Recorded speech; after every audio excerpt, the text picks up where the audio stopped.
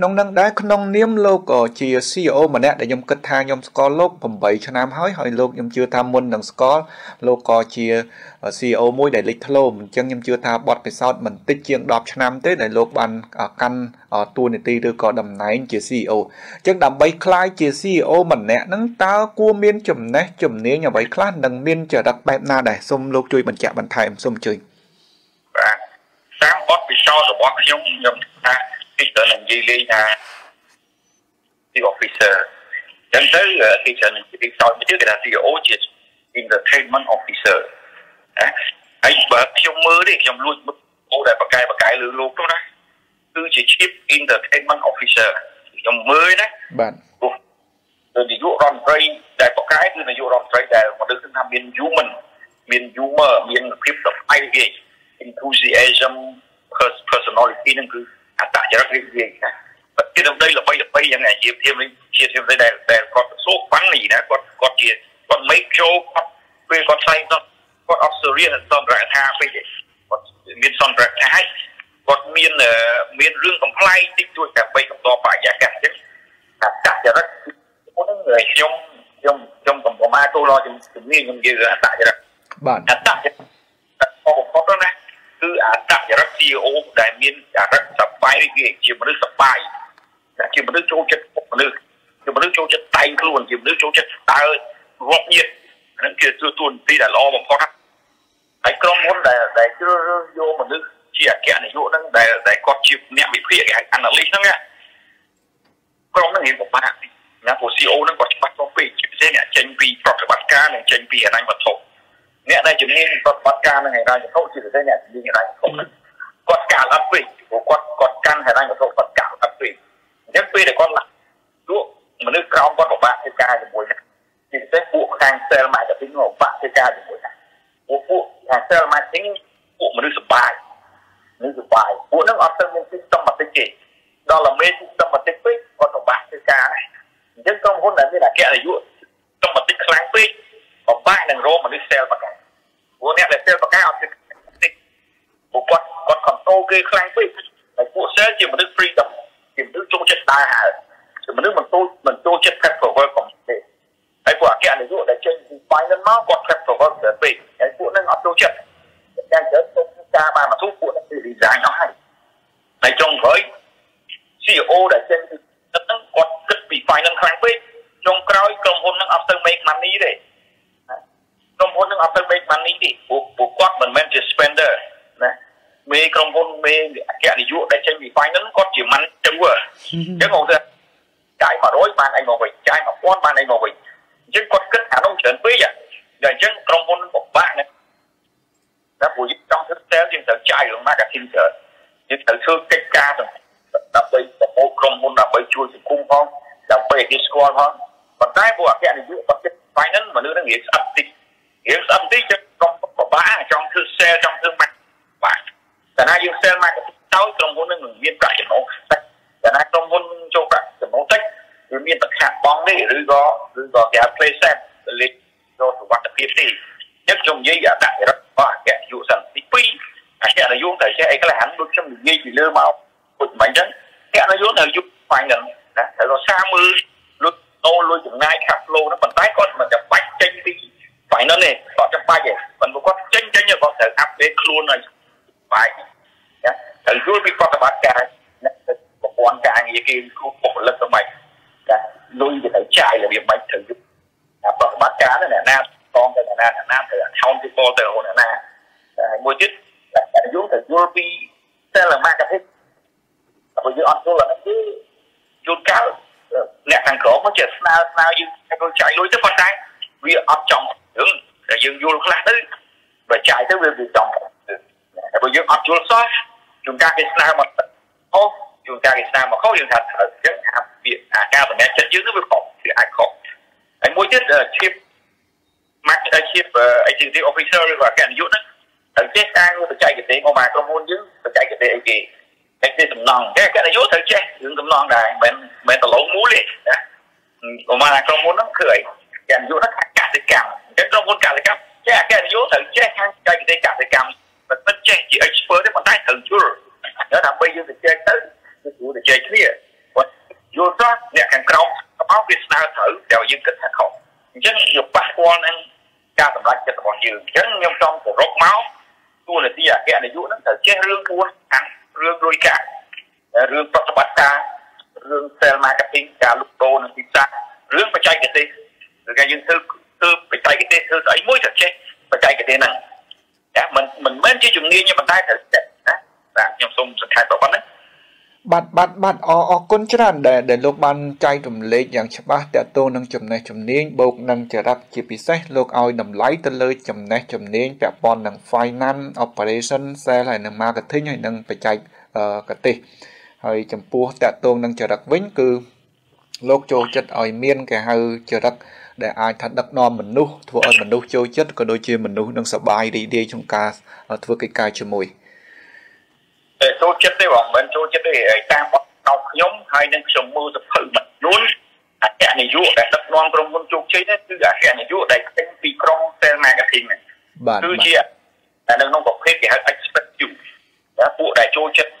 តែងខ្លួនចូលចិត្តដើរជួបគេជប់សบายណាចូលចិត្ត friendship ណូអញ្ចឹងអគ្គនាយកដែលចេញពីប្រភពហ្នឹងមកគាត់ភាគច្រើនគាត់ងាយធ្វើការជាមួយប៉ុន្តែបើអគ្គនាយកចេញពីប្រភេទ finance មកគាត់រៀនពិបាកធ្វើការមួយគេដរាបណាគាត់មិនមែនគាត់តែគាត់គាត់យល់គាត់យល់ថាគាត់ត្រូវកែណាគាត់កុំគាត់កុំ accurate ខ្លាំងពេកគាត់តិចខ្លាំងពេកគាត់ពុកមួយខ្លាំងពេកអពុកមួយពីរខ្លាំងពេកបានគាត់ទៅដឹកនាំទួនាទីជាអគ្គនាយកទៅស្ទួតតែ បើគាត់នៅតែមួយបុកមួយខ្លាំងពេកគាត់ពិបាកនឹងដឹកនាំស្ថាប័នផ្នែកមួយទីដ៏ធំនោះគឺ flexibility គឺការបត់បែនមិនមែនភាពរឹងត្អឹងទេសូមអរគុណបាទបាទអរគុណច្រើនមែនទែនចំពោះលោកបានបញ្ជាក់បន្ថែមទៅលើតទៅនឹងចរិតរបស់ CEO ឬក៏ចរិតដើម្បីអាចคลายទៅជា CEO មួយក្នុងការដឹកនាំក្រុមហ៊ុនឬក៏ស្ថាប័នឲ្យជោគជ័យនៅក្នុងនោះដែរខ្ញុំសូមឆ្លងចូលដល់ចំណុចទី4ដែលជាចំណុចសំខាន់ ជាពិសេសពាក់ព័ន្ធទៅនឹងប្រធានបទអឺដែលយើងជជែកសម្រាប់ទិវា CEO ប្រចាំឆ្នាំនឹងតែម្ដង គឺទៅលើតួនាទី CEO នៅក្នុងការអភិវឌ្ឍស្ថាប័នតាមបទពិសោធន៍ក៏ដូចជាការងារដឹកនាំជាក់ស្ដែងរបស់លោកកន្លងមកតើលោកយល់ថា CEO នឹងមានតួនាទីនៅក្នុងការអភិវឌ្ឍស្ថាប័នខ្លួននឹងយ៉ាងដូចម្ដេចខ្លះដែរសូមអញ្ជើញលោកដុនសុមេត្រិន CEO ខ្ញុំចាំពាក្យលោកជូបលៀងមួយលោកជូបលៀងគាត់និយាយពេលដែលគាត់បានកាន់កាប់រដ្ឋមួយហ្នឹង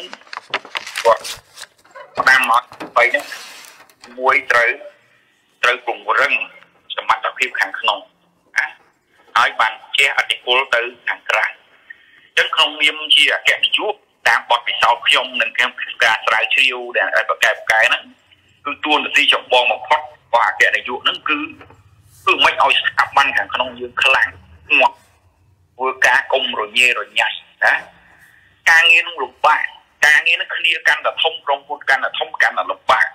ព្រោះយើងត្រូវការមើលមនុស្សតែច្រើនអាទូចក៏រៀងលំបាកអាលំប្រជុំក៏រៀងលំបាកអាធំនឹងក៏រៀងលំបាកណាប៉ុន្តែបើសិនជាពួកនឹងគាត់យល់រឿងហ្នឹងយើងអាចធ្វើវាម្ដងបន្តិចម្ដងបន្តិចតែក្នុងការអភិវឌ្ឍតែក្នុងយើងឲ្យស្រួលទីមួយបរិញ្ញាមនុស្ស ណាបរិញ្ញាមនុស្សហើយបរិញ្ញាមនុស្សហ្នឹងត្រូវការលុយហើយជួនកាលយើងបង្រៀនផ្ទៃក្នុងណាយើងអាចជួលគេពីក្រៅនិងទៀតផ្ទៃក្នុងអញ្ចឹងធ្វើម៉េចអភិវឌ្ឍមនុស្សក្នុងហ្នឹងទៅទី2យើងត្រូវចងប្រព័ន្ធការងារដើម្បីឲ្យមានគុណភាពខាងក្នុងចងប្រព័ន្ធការងារហើយប្រព័ន្ធការងារក៏ត្រូវការវិនិយោគទៅលើបច្ចេកទេសទៅលើទៅលើ software ផ្សេងផ្សេងបីប្រព័ន្ធការងារអញ្ចឹងតួនាទីចម្បងហ្នឹងគឺ ធ្វើម៉េចឲ្យគុណភាពខាងក្នុងយើងខ្លាំងសិនណាអញ្ចឹងបានអមបានឲ្យស្បាយក្រុមហ៊ុនទូចទូចយើងកុំអាលឆ្វេងឆ្វាយយើងរៀបខាងក្នុងឲ្យខ្លាំងហើយបានយើងជាអតិពលទៅខាងក្រៅទៅវាស្រួលអញ្ចឹងរៀបប្រព័ន្ធខាងក្នុងឲ្យរឹងក្នុងពេលតែមួយរៀបប្រព័ន្ធខាងក្នុងហ្នឹងយើងកុំភ្លេចប្រព័ន្ធបង្កើតលុយព្រោះពីរហ្នឹងវាត្រូវដើរគឺប្រព័ន្ធ sell marketing ហ្នឹងកាលណាយើងខ្លាំង ប៉ុន្តែយើងភ្លេចអាប្រព័ន្ធក្នុងការលក់ដូរនោះអាហ្នឹងក្រុមហ៊ុនហ្នឹងគួរបរាជ័យដែរព្រោះព្រោះពេលដែលយើងទៅជែកគេតែនិយាយពីរឿងលុយថារៀបប្រព័ន្ធក្នុងបាច់បរៀនបុគ្គលិកហ្មងថារៀប software ហ្មងត្រូវជួបមនុស្សខ្លាំងខ្លាំងដើម្បីជួយរៀបរៀបបាច់អញ្ចឹងវាលុយទាំងអស់អញ្ចឹងអ្នកដែលឆ្លោយអាហ្នឹងបានគឺអ្នកកាន់ sales marketing ហើយនឹង finance finance ថាអូដើម្បីធ្វើអាហ្នឹងបានវាត្រូវតែមានលុយដល់មានលុយអ្នកណាអ្នកបង្កើតលុយគឺក្រុម sales marketing ហ្នឹងហើយ អញ្ចឹងក្រុមដែលយើងមើលពីសំខាន់ហ្នឹងគឺក្រុម sales marketing ហើយនឹងក្រុមក្រុមដែលយើងលក់ហើយក្រុមហ្នឹងត្រូវរៀបចំទុកដាក់លុយកាក់ណាដូចបដិណាហើយអញ្ចឹងមកអាពីរនឹងធ្វើមកវាស៊ីគ្នាហើយវាមានចំណូលល្អហើយគេរៀបចំទុកដាក់បានល្អហើយយើងនឹងមានថវិកាសម្រាប់ពង្រីកគុណភាពក្នុងហើយតែកណាយើងបរិគុណភាពខាងក្នុងតែហើយយើងឡើងបារម្ភហើយបានតែយើងទុកបានយើងអាចទុកបាន ប៉ុន្តែว่าយើងខាងក្នុងយើងខ្សោយអញ្ចឹងខាងក្នុងយើងខ្សោយយើងពិបាកពង្រីកយើងចង់បើក restaurant មួយចង់បើក franchise 100ទេវាតល់ខាងក្នុងយើងខ្លាំងសិនព្រោះខាងក្នុងយើងអត់ខ្លាំងយើងអាចបើក franchise រាប់រយបានទេបាទបាទបាទបាទបាទអរអរគុណច្រើនដែលលោកបានចែករំលែកពីទូនីតិដ៏ជាក់លាក់ក្នុងនាមជា CEO គឺ តកតូននឹងការអភិវឌ្ឍស្ថាប័នរបស់ខ្លួននឹងគឺពង្រឹងសមត្ថភាពខាងក្នុង ជាពិសេសក្នុងការរៀបចំធ្វើម៉េចដើម្បីឲ្យមានប្រព័ន្ធអឺគេហៅថាការងាររឹងមាំមានអឺភាពគុណភាពខាងក្នុងហើយនឹងប្រព័ន្ធបង្កើតលុយតទៅនឹង sale ហើយ marketing នឹងឲ្យបានល្អដើម្បីជះឥទ្ធិពលទៅខាងក្រៅប៉ុន្តែនៅក្នុងនឹងដែរខ្ញុំចង់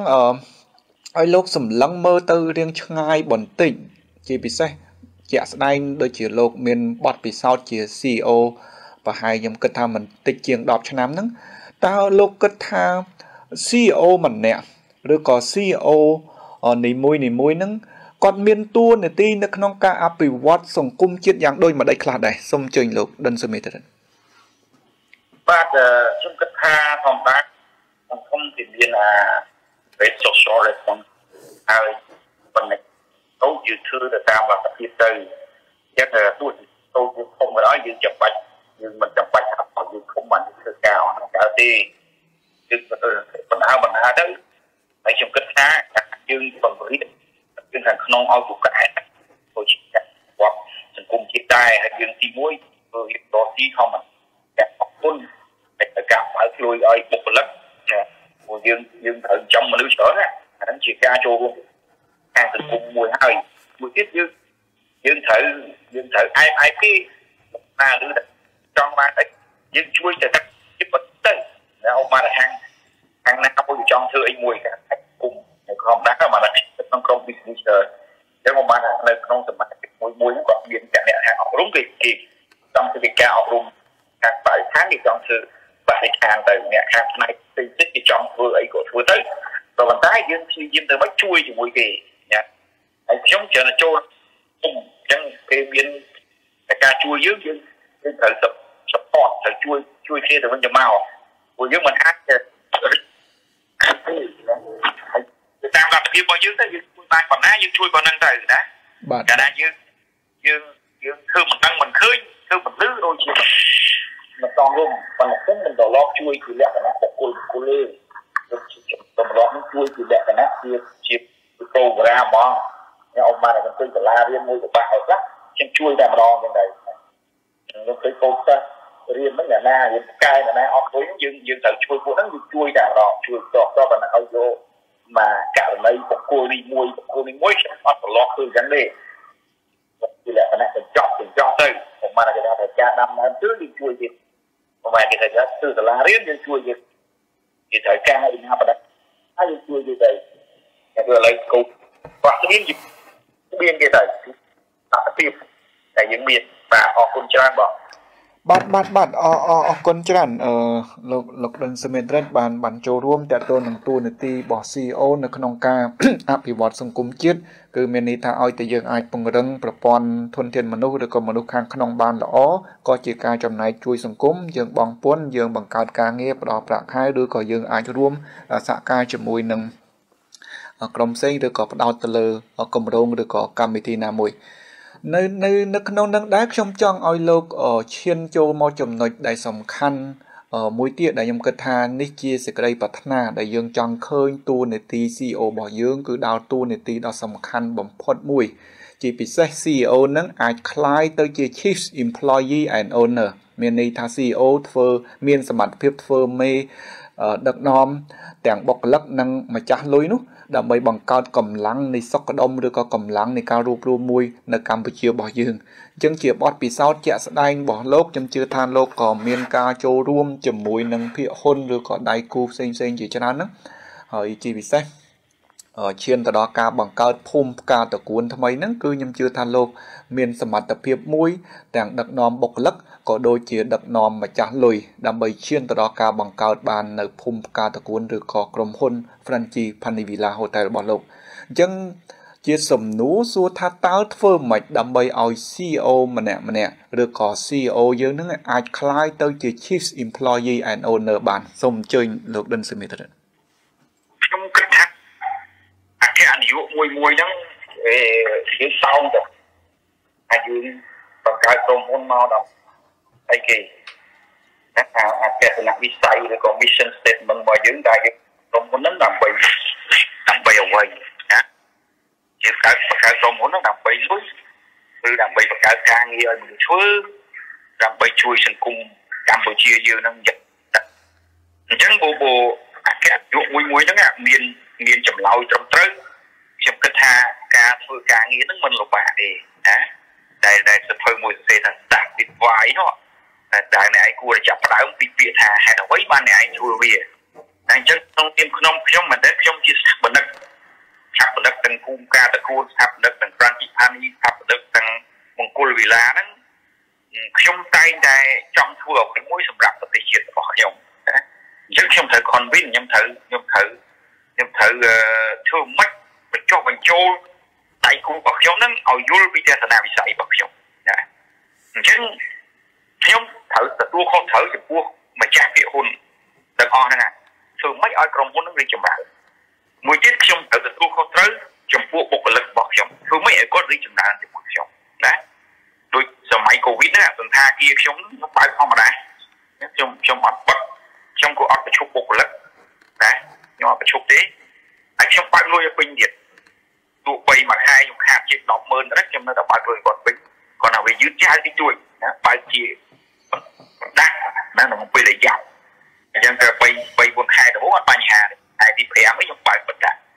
ខែទី6ឯងខ្ញុំខ្ញុំកាត់ដូច20%ហើយក្រោយមកខ្ញុំបើកឲ្យគាត់ពេញវិញខ្ញុំកាត់ជាតែមួយខែទេកាត់តែ20%អាពេលហ្នឹងពិបាកមែនទេណាអញ្ចឹងយើងត្រូវឈរគឺជំនួសអស់ផងហៅចាំមកឆាមិញហ្នឹងគឺយើងត្រូវឈរខាងឧបតិកតខាងម្ចាស់ម្ចាស់វិទ្យុអ្នកម្ចាស់ទីតោះណាព្រោះយើងឈរលៀន បតែមួយខាងវាមិនយុត្តិធម៌ព្រោះយើងធ្វើការយើងគិតច្បាស់ហើយបុគ្គលិកយើងគេហៅថា internal customer គឺអតិថិជនខាងក្នុងជាវដែលមកប្រើសេវាយើងគឺជាអតិថិជនខាងអញ្ចឹងបើយើងយកចិត្តតែអតិថិជនក្រៅយើងអត់យកចិត្តអតិថិជនខាងក្នុងក្រុមហ៊ុនយើងបែរវាខ្ញុំចង់ធ្វើម៉េចឲ្យឲ្យបុគ្គលិករបស់ខ្ញុំហ្នឹងជិតចិត្តបែរចិត្តឲ្យមានមានអារម្មណ៍ថាគាត់ជាម្ចាស់តែទៅពេលតែពេលដែលយើង នឹងឆាយទៅវិឆាយហ្នឹងព្រោះអូតែពិបាកយកមិនស្រួលទេខ្ញុំខ្ញុំបង្កើតទៅវិឆាយឲ្យឲ្យបុគ្គលិកដែរប៉ុន្តែអត់យកពី view ទេអត់ទាន់យក view ទេយកបានតែពីអី restaurant ពីទួយទេប៉ុន្តែពីបន្ទប់អីយកអត់ទាន់បានប៉ុន្តែក្រុមហ៊ុនហ្នឹងត្រូវចេញខាតមកចេញខាតទៅវិឆាយហ្នឹងយកលុយក្រុមហ៊ុនហ្នឹងឲ្យបុគ្គលិកមកដើម្បីគាត់មានអារម្មណ៍ថាពេលដែលគាត់ហត់គាត់មានគាត់មានប្រាក់បន្ថែមអញ្ចឹងណា យើងចង់គាត់ចង់ឲ្យគាត់ធ្វើការឲ្យចិត្តមុខញញឹមមិនចង់ឲ្យគាត់ធ្វើការឲ្យសប្បាយរីករាយតែហើយយើងធ្វើមិនឲ្យគាត់រីកចម្រើនជាមួយយើងរៀបតូចជាមួយយើងព្រោះយើងមិនចង់ឲ្យគាត់បានលុយមួយខែ2 300 4 500វារបស់អស្ចារ្យទេយើងត្រូវបានលុយចង់ឲ្យគាត់រៀបតូចពីអ្វីដែលគាត់ធ្វើការហ្នឹងតែពេលមកក្រោយគាត់ខ្លាយជាមួយដឹកនាំគេបានណាហើយទីមួយទៀតយើងត្រូវទី2យើងត្រូវធ្វើម៉េចឲ្យម្ចាស់ភាគហ៊ុនទាំងអស់បាយជាមួយយើងបាយជាមួយគាត់ មិនតែយើងយកចិត្តអ្នកខាងក្រៅហើយលេងម្ចាស់ភាគហ៊ុនគ្នា trong ឆ្នាំអត់បានឲ្យចំឬក៏ខាតបងខាតរហូតហ្នឹងអាហ្នឹងអាហ្នឹង CEO ហ្នឹងមានបញ្ហាអញ្ចឹងយើងត្រូវធ្វើម៉េចឲ្យខាងក្រៅនឹងរួចចំណេញឲ្យខាងលើយើងរួចចំណេញអញ្ចឹងទៅគេគេកក់ជាអតិនិយមួយមួយអ្នកខាងក្រៅអ្នកងារគ្រប់គ្រងអញ្ចឹងយើងយើងនឹងហើយគេមិនចង់ទៅណាដកទូនាទីតំណែងកាយយើងហ៊ុនជាមួយគេមែនមិនណាមិនយើងហ៊ុនធំទេណាប្រហែល3នាក់ហ៊ុនស្មើគ្នាហ្នឹង តែប្រហែល2នាក់ទៀតគេមិនសប្បាយចិត្តជាមួយយើងគេទឹកស្តក់យើងហ្នឹងគេសុំឲ្យយើងសម្រាប់អីទៅហើយស្នើបាច់ទៅថ្មីទៅគុណបាទបាទអរអរគុណច្រើន ដែលលោកបានបង្ហាញយ៉ាងច្បាស់ហើយក៏ជាបទពិសោធន៍ជាក់ស្ដែងដែលលោកបានចូលរួមនៅក្នុងការដឹកនាំជាពិសេសលោកសិតតែជាស្ថាបនិកនៅក្នុងភូមិផ្កាតគួនបរិយមង្គលវីឡាក៏ដូចជាក្រុមហ៊ុនសន្តាគារ Franchi Pani Villa ខ្ញុំគិតថាបទពិសោធន៍នៃមេរៀននេះគឺពិតជាសំខាន់ណាស់ដែលធ្វើយ៉ាងម៉េចដើម្បីយើងក្នុងនាមជា CEO ត្រូវតែមាន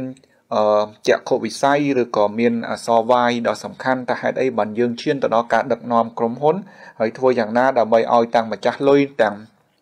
បុគ្គលិកមានការរីចម្រើននិងសប្បាយជាមួយគ្នាហើយមានភាពជាម្ចាស់ដូចគ្នាអរគុណច្រើនជំរាបសួរសាជាថ្មីលោកដិនដិនសមេត្រិតបាទជំរាបសួរបងជំរាបសួរបាទបាទអរគុណច្រើនដែលលោកបានចូលរួមឆ្លើយទៅនឹងសំណួរ6សំណួរដូចមកហើយដែលតកតូនទៅនឹងអត្តន័យនៃពាក្យ CEO ប្រព័ន្ធនៃការដឹកនាំបែប CEO ក៏ដូចជាធ្វើម៉េចដើម្បីคลายជា CEO ក៏ដូចជាតួនាទី CEO នៅក្នុងការអភិវឌ្ឍស្ថាប័ននិងសង្គមជាតិហើយធ្វើយ៉ាងម៉េចដើម្បីឲ្យ CEO នឹងคลายទៅជា Chief Employee and Owner ឥឡូវនេះយើងឈានដល់ សំណួរដែលសំខាន់មួយទៀតតកតងនឹងទី7ពាក់ព័ន្ធនឹងស្ថានភាពកូវីដបច្ចុប្បន្ននេះអឺយើងគិតថាគ្រប់អាជីវកម្មឬក៏ស្ថាប័នក៏ដូចជាសង្គមជាតិតែងតែទទួលនូវផលប៉ះពាល់ផ្សេងផ្សេងអញ្ចឹងនៅក្នុងខណៈនេះក្នុងនាមលោកជា CEO ម្នាក់លោកយល់ថាតើ CEO អឺអឺម្នាក់នឹងឬក៏ CEO ម្នាក់ម្នាក់នឹងគួរធ្វើអ្វីនៅក្នុងស្ថានភាព COVID បច្ចុប្បន្ននេះសូមអញ្ជើញលោក ខ្ញុំគិតថានៅក្នុងកលៈទេសៈនេះយើងអាចទស្សទាយបានខ្លះក៏ប៉ុន្តែវាអត់អាចត្រឹមត្រូវច្បាស់100%ទេយើងអាចទស្សទាយបានខ្លះមុននេះយើងគិតថាស្ថានភាពយើងបែបជាអត់មុនធ្ងរដោយប្រទេសមួយចំនួនដែលមុនធ្ងរណាតែមករយៈចុងក្រោយនេះយើងមុនធ្ងរគួរសមដោយសារព្រឹត្តិការណ៍ថាគុំកើតពីរដងមកវាធ្ងន់រហូតដល់ ខេត្តរហូតដល់បាត់ក្រុងជាដើមអញ្ចឹងទៅប៉ុន្តែ CEO នឹងត្រូវត្រូវទៅតាមមើលសភាពការណាដើម្បីឲ្យយើងពីមុននិយាយមុនថាគម្រោងវានឹងទៅណាតែទោះរឿងលំបាកយ៉ាងណាក៏យើងទាយមុនហើយដល់យើងត្រូវចេះទាយមុនហ្នឹងយើងទាយមុនហ្នឹងយើងដើម្បីទីមួយយើងទប់ស្ថានភាពរបៀបណាព្រោះធម្មតាដោយបងដឹងទាំងអស់គ្នាហើយអ្នកដែលមានស្ថាប័នមានក្រុមហ៊ុនមានអីហ្នឹងយើងត្រូវទទួលខុសត្រូវច្រើនណា ហើយបើកតាក់ខែទៅចាយលុយធ្វើនេះធ្វើនោះដូចខ្ញុំនឹងគ្រឿងសំណង់ឬធ្វើឲ្យថាចរាសម្ព័ន្ធប៉ុន្តែការលក់យើងធ្លាក់ចុះណាយើងតិចមិនរួចទេលក់យើងធ្លាក់ចុះតែយ៉ាងដែរដោយសារវារឿងបញ្ហាអញ្ចឹងអ្នកដែលមិនចាំបាច់គេមិនហោះទេអញ្ចឹងយើងធ្លាក់យើងធ្លាក់ចំណូលច្រើនអញ្ចឹងហើយមេមួយមួយហ្នឹងក្នុងនាមជាអគ្គនាយកហ្នឹងទួលនីតិចម្បងរបស់យើងគឺយើង stabilize យើងធ្វើមិនឲ្យស្ថានភាពហ្នឹងវា វានឹងណវាអត់រញ៉េរញ៉ៃវាអត់ឆោឡោហើយត្រូវយើងទប់នៅក្នុងកលៈទេសៈនេះត្រូវទប់ទប់ស្អីខ្លះដើម្បីជាពិសេសគឺមិនរក្សាបុគ្គលិកយើងណាពួកគ្នាពឹងលើក្រុមហ៊ុនពួកក្រុមហ៊ុនគ្រាន់តែជួបបុកប្រកាសបិទក្រុមហ៊ុនឬក៏ប្រកាសបញ្ឈប់បុគ្គលិកហើយទៅបទច្បាប់ដូចឥឡូវដូចគេឲ្យទៀតអាការវិចខ្ចប់ហ្នឹងគេឲ្យយើងអាចឲ្យបុគ្គលិកធ្វើការដោយមិនបាច់មានប្រាក់ ខែអីក៏ប៉ុន្តែក្នុងនាមយើងជាប្រធាននោះជាជាមេគេនោះយើងមិនមែនជ្រើសរើសយកអាផ្លូវតែស្រួលនោះទេណាយើងត្រូវដាក់ខ្លួនយើងជាបុគ្គលិកវិញយើងត្រូវមានកូនត្រូវមានប្រពន្ធចិញ្ចឹមតែសាលារៀនខ្លះនៅតែបង់ហើយបើយើងគ្រាន់តែជួបឧបសគ្គយើងដើរលើផ្លូវមួយអត់ទូក៏ត្រូវថាតិចបងប្រាក់ខែគេអីដូចមិនត្រូវអញ្ចឹងសរុបមកក្នុងស្ថានភាពនេះក្នុងនាមជាអគ្គនាយកហ្នឹងទីមួយយើងយើងធ្វើម៉េចធ្វើឲ្យសភាពការរបស់ក្រុមហ៊ុនយើងនឹង ណាបាននេះត្រូវការពីរក្សាបុគ្គលិកយ៉ាងម៉េចហើយក្នុងទន្ទឹមនឹងហ្នឹងកុំភ្លេចតើយើងត្រូវខំប្រឹងលក់យ៉ាងម៉េចក្នុងកលៈទេសៈនេះណាដោយសម្ដេចលក់លោកមានប្រសាសន៍ថាច្រូតស្រូវក្នុងទឹកបើតើយើងអត់ស្រូវច្រូតអញ្ចឹងយើងម្នាក់ម្នាក់នៅក្នុងស្ថានភាពច្រូតច្រូតស្រូវក្នុងទឹកចាក៏ប៉ុន្តែយើងយើងត្រូវមានសង្ឃឹមថាយើងអាចច្រូតបានដែរយើងហឹបទឹកហឹបអីយើងច្រូតបាន ប៉ុន្តែបើអគ្គនាយកមួយមួយគិតថាច្រូតមិនបានគិតថាវាអស់ស្រូវហើយគិតថាលក់វាមិនកើតនៅក្នុងស្ថានភាពនេះអាហ្នឹងយើងយើងចង់រក្សាបុគ្គលិករក្សាមិនកើតណាព្រោះព្រោះនៅក្នុងចុងខែមួយមួយយើងត្រូវបើកលុយដូចញ៉ៅញ៉ាលីហូគាត់ថាមួយខែត្រូវបើកលុយ2លានអញ្ចឹងយើងមិនអាចរងចាំទៅភាពការឲ្យវាងប់ឬក៏រងចាំដល់អ្វីអ្វីវាប្រកបភាពយើងអាចរងចាំទេអញ្ចឹងសរុបមកនៅក្នុងសភាពការនេះទី1យើងត្រូវបំរើមើលស្ថានភាព ជាទស្សទាយទស្សទាយឲ្យបានត្រូវច្រើនទៅខំប្រឹងតាមដានសភាពការទី1ទៀតត្រូវទុកបុគ្គលិកយើងហើយនឹងស្ថានភាពការងារយើងធ្វើមិនឲ្យដូចប្រកបភាពទោះបីយើងធ្វើការជា long distance ធ្វើការពីចម្ងាយប៉ុន្តែយើងត្រូវទុកវាវាមិនទី3យើងត្រូវរក្សាប្រាក់ចំណូលហ្នឹងទោះជាធ្លាក់យ៉ាងណាក៏ដោយយើងត្រូវតែខំប្រឹងលក់ខំប្រឹងធ្វើការណាគឺយើងកុំអស់សង្ឃឹមព្រោះចំណុចទី3ហ្នឹងវានឹង វានឹងសម្រេចជោគវាសនារបស់ក្រុមហ៊ុនយើងក្រុមហ៊ុនយើងមួយមួយហ្នឹងទោះបីជាយើងចិត្តល្អយ៉ាងណាក៏ដោយយើងចង់រក្សាប្រាក់ខែពេញឲ្យគេយើងចង់រក្សាចំនួនបុគ្គលិកឲ្យនៅដដែលប៉ុន្តែបើយើងលក់មិនដាច់យើងអត់មានចំណូលអីដល់សោះតើយើងមានប្រាក់បំរុងប៉ុណ្ណាហើយតើយើងរស់បានប្រហែលខែទៀតវាវាអញ្ចឹងអញ្ចឹងខ្ញុំសូមឆ្លើយទៅប៉ុណ្ណឹងបងបាទ បាទអរគុណច្រើនចំពោះការបង្ហាញដែលពោពេញទៅដោយមេរៀននិងបទពិសោធន៍ដែលថាតើក្នុងកលៈទេសៈនេះកលៈទេសៈកូវីដ CEO បច្ចុប្បន្ននេះតើ CEO ម្នាក់ម្នាក់គួរធ្វើអីគឺត្រូវតែតាមដានព័ត៌មាននិងចេះទាយឬក៏ប្រមាលមើលស្ថានភាពហើយដើម្បីទប់ទល់លំនឹងនៃក្រុមហ៊ុនឬក៏ស្ថាប័នរបស់ខ្លួនហើយនឹងជាពិសេសតកតូននឹងការថែរក្សាការពារបុគ្គលិករបស់ខ្លួនឲ្យ អាចថា CEO ត្រូវតែធ្វើខ្លួនដូចជាបុគ្គលិកហើយធ្វើម៉េចទៀតយើងនឹងជាយាមបង្កើនប្រាក់ចំណូលឬក៏រកប្រាក់ចំណូលទោះក្នុងស្ថានភាពយ៉ាងណាដល់ដើម្បីទប់លំនឹងនៅក្នុងនេះអឺអាចនិយាយបានថាស្ថាប័នភាគច្រើនគាត់កំពុងតែប្រឈមនឹងបញ្ហាផ្សេងផ្សេងហើយក្នុងនាមលោកជា CEO ម្នាក់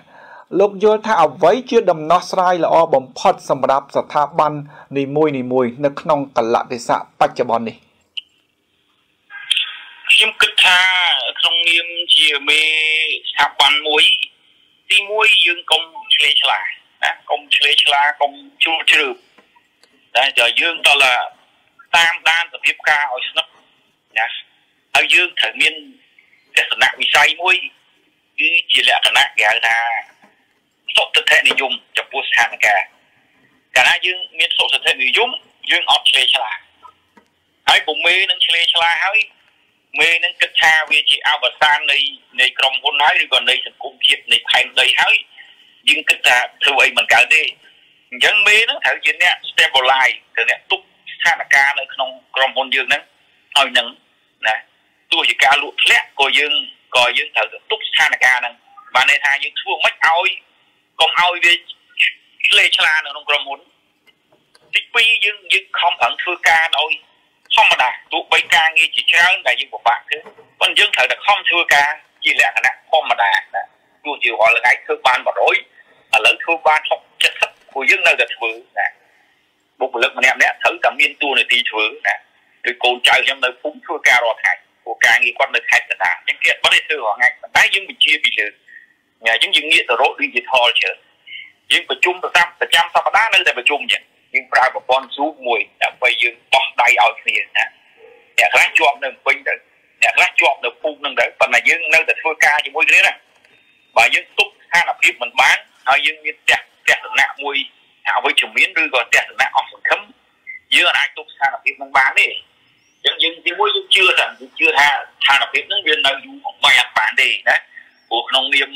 ថ្នាក់ដឹកនាំប្រទេសមួយមួយគេមិនចង់ឲ្យប្រទេសហ្នឹងនៅគ្រោះនៅក្នុងភាពលំបាកឬក៏ការបិទផ្លូវការអីចឹងរហូតទេណាព្រោះការសម្រេចចិត្តរបស់រាជរដ្ឋាភិបាលក្នុងការបិទផ្លូវបិទគប់អីហ្នឹងគឺជាការសម្រេចចិត្តដ៏ជឿចាប់មួយណាអញ្ចឹងលោកមិនចង់យូរនៅយូរទេអញ្ចឹងយើងត្រូវមានជំនឿថាអ្វីអ្វីវានឹងបើកអញ្ចឹងនៅក្នុងតែពេលវាបិទហ្នឹងនៅក្នុងពេលលំបាកហ្នឹងអញ្ចឹងយើងខំខំខំផឹងធ្វើការធម្មតាហើយត្រូវធៀបត្រៀមទៀត តែថ្ងៃគេបើកហ្នឹងហើយយើងត្រូវទាញមុនទេថ្ងៃហ្នឹងថ្ងៃណាគេបើកយើងទាញមើលទៅមិនទៅជាខុសទេព្រោះយើងតាមធ្វើការបានហើយតែពេលតែគេបើកតែយើងទៅធ្វើអីមុនគេណាកុំតែពេលគេមកឲ្យចេញចង់ចេញដល់ពេលឲ្យចេញមិនដឹងចេញទៅណាណាដោយសារយើងមិនបានត្រៀមគិតមុនអញ្ចឹងចម្លើយរបស់ខ្ញុំគឺប្រកបដោយភាពប្រកបដោយភាពនៃបញ្ហាហើយនឹងមានទស្សនៈសុទិដ្ឋិនិយមថាអ្វីអ្វីវានឹងទៅជាធម្មតាវិញបាទ បាទអរគុណមកបាទបាទអរគុណមែនតើខ្ញុំគិតថានេះគឺជាពន្លឺមួយសម្រាប់ស្ថាប័ននីមួយនីមួយថាធ្វើយ៉ាងម៉េចទោះបីស្ថិតនៅក្នុងកលៈទេសៈឬក៏ស្ថានភាពយ៉ាងណាក៏ដោយគឺកុំឆ្លេឆ្លាត្រូវតែមានគំនិតសុទិដ្ឋិនិយមហើយប្រឹងធ្វើការធម្មតាអាចងាកទៅរក digital ឲ្យបានច្រើន ហើយគិតថាពេលដែលកលៈទេសៈឬក៏ឱកាសមកដល់តើយើងនឹងធ្វើអ្វីឲ្យបានមុនគេឬក៏ល្អជាងគេ អរគុណឥឡូវនេះខ្ញុំសូមចូលទៅចំណុចមួយទៀតដែលជាចំណុចកាន់តែសំខាន់ដែលក្នុងនាមលោកជា CEO ដ៏មានបទពិសោធន៍ម្នាក់នេះតើលោកយល់ថាអនាគតស្ថាប័ននិងសង្គមជាតិរបស់យើងនឹងមានការប្រែប្រួលយ៉ាងណាដែរលោកសូមអញ្ជើញស្ថាប័នអនាគតស្ថាប័ននិងប្រទេសជាតិយើងនឹងមានការប្រែប្រួលយ៉ាងណាបាទចង់ប្រោតទៅលើអីបង ប្រែប្រួលនឹងចង់ប្រោតទៅលើអីលោកតាមការយល់ឃើញរបស់លោកថាឥឡូវហ្នឹងដោយសារយើង សង្គមពិភពលោកវាមានការប្រែប្រួលជាពិសេសអឺសម័យកូវីដក៏ដូចជាបដិវត្តនៃបច្ចេកវិទ្យាផ្សេងផ្សេងដែលវាកើតឡើងមកនៅក្នុងសង្គមរបស់យើងបច្ចុប្បន្នចឹងក្នុងនាមលោកជា CEO ម្នាក់តើលោកប្រមាលមើលទៅអនាគតថាតើអនាគតនៃស្ថាប័ននិងសង្គមជាតិរបស់យើងនឹងមានការប្រែប្រួលយ៉ាងណាដែរខ្ញុំគិតថាពិភពលោកនេះឥឡូវ វិវត្តលឿនមែនតើវិវត្តលឿនឥឡូវខ្ញុំខ្ញុំឧទាហរណ៍មួយយើងពីដើមមកវាហៅសម័យអន្តររៀនទាំងអស់គ្នាណាសម័យសក្តិភូមិឬក៏កសិកម្មជាបរដ្ឋធ្វើកសិកម្មក្រោយមកនៅប្រទេសអឺរ៉ុបគេធ្វើបដិវត្តឧស្សាហកម្មហើយសតវត្សទី15នោះហៅ Industrial Revolution ហើយវាស៊ីពេលប្រហែលជា4 500ឆ្នាំនោះដើម្បីនាំបដិវត្តឧស្សាហកម្មនៃទ្វីបអឺរ៉ុបហ្នឹងមកទ្វីបអាស៊ីយើងហ្នឹង តែដូចយើងយើងចាប់ដើមមានរូបចក្រថាវាហ្នឹងឆ្នាំ1950ជាងហ្នឹងបាទតែអញ្ចឹងវាវាតាំងពីគេ1400ជាងយើង900ជាងវាវាស៊ីពេកប្រហែលជា500ឆ្នាំបានវា transfer បានវាបានវាបានវាជះអតិពលមកយើងណាបើវាចេញជារូបរាងបរិបទឧស្សាហកម្មមកស្រុកខ្មែរឬក៏តំបន់អាស៊ីផ្សេងៗនៅចុងឆ្នាំ1900មានន័យថាចុងសតវត្សទី20ឃើញហើយអញ្ចឹងពេលជិត500ឆ្នាំដើម្បី ដើម្បីចែករំលែកដើម្បីដើម្បីមានការជះអតិពលពីក្នុងមកចេញជារូបរាងអញ្ចឹងយើងក៏លេខមកបដិវត្តខាងផ្នែក IT វិញឬក៏គេហៅថា technology revolution ណានៅលើពិភពលោកគេចាត់ទុកឆ្នាំ1989ជាជាសម័យបច្ចេកវិទ្យាឬក៏បដិវត្តបច្ចេកវិទ្យាអញ្ចឹងវាលឿនមែនតើពេលដែលចេញ1989មកមកដល់ឥឡូវយើងនិយាយស្រុកខ្មែរទៅចុះ តែធ្លាប់លំបាកឆ្លងកាត់សង្គ្រាមរ៉ាំរ៉ៃណាស្រុកយើងឆ្នាំ90ទីទួចយើងចាប់ដើមប្រើកុំព្យូទ័រយើងចាប់ដើមប្រើអ៊ីនធឺណិតតែហើយអ៊ីនធឺណិតយើងចាប់ដើមផុសផុលគឺឆ្នាំ2000ឥឡូវយើងនិយាយពី89មក2000ឥឡូវយើងនិយាយទូទៅចុះ11ឆ្នាំពេល10ឆ្នាំបាទទីពេល10ឆ្នាំយើងនិយាយចឹងចឹងអាទីពេលតែ10ឆ្នាំទេអញ្ចឹងយើងបង្រួមដែលបរិបទឧស្សាហកម្មតម្រាំដែលមកពីអឺរ៉ុបមកដល់ស្រុកខ្មែរទីពេល500ឆ្នាំយើងបង្រួមមកប្រហែល10ឆ្នាំ អញ្ចឹងលឿនណាស់ហើយអញ្ចឹងស្រុកខ្មែរយើងដោយសាររាជរដ្ឋាភិបាលហ្នឹងឯងខំខំខំប្រឹងប្រែងណាពីដើមយើងត្រូវការលុយគេមួយឆ្នាំដែលតូចណាស់1000លានឥឡូវយើងយើងលែងត្រូវការណាហើយយើងវិវត្តពីប្រទេសគេហៅ developing country ទៅជា lower middle income country បានន័យថាពីប្រទេសក្រីក្រទៅជាប្រទេសដែលមានប្រាក់ចំណូលកម្រិតទាបយើងប្រែប្រួលលឿនណាស់ក្នុងរយៈពេលប្រហែលឆ្នាំចុងក្រោយហ្នឹងហើយសេដ្ឋកិច្ចយើងរីកច្រើនណាស់មុនកូវីដហ្នឹង យើងរីក7 8 6ជាងហើយ2000ជាងរៀបរៀបសោះ8ដល់6ដល់10%វាវាកម្រមានមានតែចឹងទេតែរីកកម្រិតហ្នឹងហើយចឹងយកខ្ញុំចង់និយាយថាពេលនិយាយពីសន្ទុះសេដ្ឋកិច្ចយើងនិយាយពីបច្ចេកវិទ្យាផ្សេងផ្សេងដែលយើងអាដាប់ដែលយើងយកពីគេមកប្រើនោះអញ្ចឹងខ្ញុំគិតថាវាអត់លំបាកណាដូចយើងនិយាយពីអា good governance អីហ្នឹងដែលស្រុកគេធ្វើយើងយើងគ្រាន់តែយកមកយកមកអនុវត្តតាគេមានក្បួនមានខ្នាតអស់ហើយហ្នឹង គឺយើងពីដើមមានក្រុមប្រឹក្សាឃុំឯណាក្រោយមកយើងមានដូចជា2003មានក្រោយមកមកយើងបង្កើតក្រុមប្រឹក្សាស្រុកខេត្តក្រុងណារាជធានីយើងមានអស់ហើយណាពីដើមមកមានទេអញ្ចឹងអាចច្បាប់ទម្លាប់អស់ហ្នឹងដែលធ្វើឲ្យយើងអនុវត្តការងារវាកាន់តែស្រួលត្រូវស្រួលត្រូវហើយទេអាសម្រាប់បច្ចេកវិទ្យាឥឡូវវាលឿនប្រហែលយើងឥឡូវគេបិទឬគេបិទក៏ដោយយើងមិនបាច់ទៅសាកចាំបាច់ទិញបានណាណាគេ order តាមតាម app ដែរអញ្ចឹងវិវត្តនឹងលឿនមែនតើណាដល់ឥឡូវឥឡូវ ម្នាក់ម្នាក់ប្រើ digital ហើយយើងបើកតែខែបុគ្គលិកឬក៏យើងត្រូវការវេលុយវាអីវាទៅជា digital ហើយអញ្ចឹងខ្ញុំមើលទៅទស្សនៈវិស័យទៅថ្ងៃមុខវានឹងលឿនដល់ឲ្យពិភពលោកវាកាន់តែចិត្តគ្នាហើយទោះជាកូវីដនឹងឡើយខ្ញុំជឿថាវាមិនមានជាឧបសគ្គទេព្រោះភ្លើងឆេះហើយវាត្រូវរលត់ហើយខ្ញុំជឿថាពិភពលោកឥឡូវក៏កំពុងតែចាប់ដៃគ្នាឥឡូវម្នាក់ម្នាក់ខំប្រឹងសម្រាប់វ៉ាក់សាំងអញ្ចឹងបើថាវ៉ាក់សាំងយើងចាក់ក្នុងចន្លោះមួយឆ្នាំធ្វើម៉េចបើខែដីចាយអស់ទៅព្រោះ ប្រទេសផលិតវ៉ាក់សាំងមានប្រមាណប្រទេសដែរអញ្ចឹងគាត់រួមគ្នាទៅអង់គ្លេសចិនអាល្លឺម៉ង់បារាំងរុស្ស៊ីអាមេរិកក៏រួមគ្នាប្រមាណហ្នឹងទៅរុស្ស៊ីគេជួយសម្ព័ន្ធមិត្តរុស្ស៊ីចិនជួយសម្ព័ន្ធមិត្តចិនទៅអាមេរិកជួយសម្ព័ន្ធមិត្តអាមេរិកអឺរ៉ុបជួយសម្ព័ន្ធមិត្តអឺរ៉ុបទៅខ្ញុំជឿថារឿងហ្នឹងវានឹងលឿនណាពេលដែលវាចប់អាហ្នឹងហើយខ្ញុំជឿថាអ្វីៗវានឹងប្រកក្តីឡើងវិញណាគេគិតថាវាយូរអីមិនហ្នឹងមិនខ្ញុំគិតថាប្រហែលជាចុងឆ្នាំហ្នឹងអ្វីៗវានឹងប្រកក្តីហើយ ដូចអ៊ីស្រាអែលប្រកាសមុនគេអ៊ីស្រាអែលគាត់ចាក់សឹមបាន100%អ៊ីស្រាអែលហើយគាត់ប្រកាសថាទេសចរដែលទៅលេងទៅគាត់ឲ្យតែមានចាក់វ៉ាក់សាំងអីហើយហើយគាត់ឲ្យចូលដោយមិនបាច់ធ្វើចតាលិខិតឃើញទេខ្ញុំជឿថានេះគឺជា good case study មួយដែលប្រទេសផ្សេងផ្សេងគួរដែលយករៀនសូត្រតាមអ៊ីស្រាអែលបាទហើយខ្ញុំគិតថាពិភពលោកនឹងលឿនលឿនជាងមុនអ្វីៗវាវិវត្តលឿនជាងមុនវាមិនដូចពីដើមទេណាវាវាវិវត្តលឿនហើយបច្ចេកវិទ្យាក៏លឿន ការអភិវឌ្ឍនឹងក៏វាលឿនហើយកម្ពុជាយើងក៏មិនមិនលំបាកដែរណាព្រោះយើងរៀនសូត្រពីពីគេហៅថារឿងរ៉ាវដែលប្រទេសផ្សេងផ្សេងគេកើតណាយើងយករឿងល្អមករៀនតាមគេយើងយករឿងដែលមិនល្អមកយើងជៀសវាងអញ្ចឹងវាមានឱកាសដែលយើងរៀនសូត្របានល្អហើយលឿនបាទអរគុណបាទបាទអរគុណច្រើន ចំពោះការបង្ហាញពីការយល់ឃើញរបស់លោកក្នុងនាមជា CEO ម្នាក់ចំពោះអនាគតស្ថាប័ននិងសង្គមជាតិ អ្វីដែលលោកបង្ហាញហាក់បីដូចជាមានសុទិដ្ឋិនិយមជាច្រើនទៅលើរឿងការវិវត្តជាពិសេសសម័យឧស្សាហកម្ម500ឆ្នាំមកមកដល់កម្ពុជាឥឡូវនេះយើងតែ4 10ឆ្នាំយើងអាចវិវត្តទៅលឿនហើយអ្វីៗនឹងមានការប្រែប្រួលរីកចម្រើនសន្ទុះទាំងសេដ្ឋកិច្ចទាំងភាពងាយស្រួលក៏ដូចជាការខិតចិត្តទៅរកគ្នាជាសរុបលោកអាចនិយាយបានថា សង្គមស្ថាប័ននិងសង្គមជាតិរបស់យើងនឹងមានការវិវត្តទៅរកភាពល្អល្អប្រសើរប៉ុន្តែក្នុងនឹងខ្ញុំចង់ទាញអារម្មណ៍មកលោកបន្តិចអាចរៀងជាក់លាក់ទៅលើថាតើអនាគតស្ថាប័ននិងសង្គមជាតិតើមានអ្វីខ្លះដែលខុសប្លែកពីមុនសូមលោករៀងបង្ហាញជាក់លាក់បន្តិចខ្ញុំគិតថាស្ថាប័ននិងសង្គមជាតិអឺដោយសារយើងឆ្លងកាត់រឿងរ៉ាវច្រើនហើយ ខ្ញុំគិតថាមនុស្សនឹងប្រយ័ត្នប្រយែងជាងមុនហើយក៏មានការទៅជែកគ្នាច្រើនខ្ញុំគិតថានៅក្នុងស្ថាប័នក៏ដោយនៅក្នុងប្រទេសជាតិក៏ដោយថ្នាក់ដឹកនាំប្រទេសជាតិហើយថ្នាក់ដឹកនាំស្ថាប័នហ្នឹងគាត់ឥឡូវគាត់ធ្វើអីគាត់ប្រយ័ត្នប្រយែងជាងមុនណាគាត់ប្រយ័ត្នប្រយែងជាងមុនហើយម្នាក់ម្នាក់ខ្ញុំថាជឿថាត្រៀមអាចត្រៀមកាត់បន្ថយអឺកន្លែង UR ហើយខ្ញុំមើល ការវិភាគរបស់លោកមួយនោះគាត់ថាប្រហែលជាមនុស្សគិតពី office space ច្រើនណានឹងងាកពី home office ច្រើនអានឹងគឺជារបត់មួយដែរហើយអារបត់ digital ហ្នឹងគឺជារបត់មួយដែលដែលអាចជួយយើងគ្រប់ស្ថាប័នទាំងអស់ឲ្យធ្វើការដោយមានប្រសិទ្ធភាពហើយដោយធ្វើការដោយមិនបាច់ជួបមុខគ្នាដែរណាគឺឥឡូវហ្នឹងមួយរយៈហ្នឹងអ្នកណាក៏ប្រើ Zoom ដែរខ្ញុំដំបូង BNI គេប្រជុំ Zoom ខ្ញុំធុញដែរប៉ុន្តែឥឡូវវាគេអត់រួចព្រោះយើងអស់ជំរឿន អញ្ចឹងវាងាកទៅរក digital ច្រើនវាងាកទៅរកការធ្វើឲ្យមួយដោយប្រយ័ត្នប្រយែងហើយនឹងខ្ញុំគិតថាអាគំនិតថ្មីដែលនឹងកើតហ្នឹងគឺគំនិត home office តើម្នាក់ម្នាក់ហ្នឹងគួរតែត្រូវតែចាប់បាច់ត្រូវការ office space អង្គុយកកកុញដូចមុនឬទេឬក៏តើការងារធ្វើការពីចម្ងាយហ្នឹងវាអាចជាជំរើសថ្មីឬទេ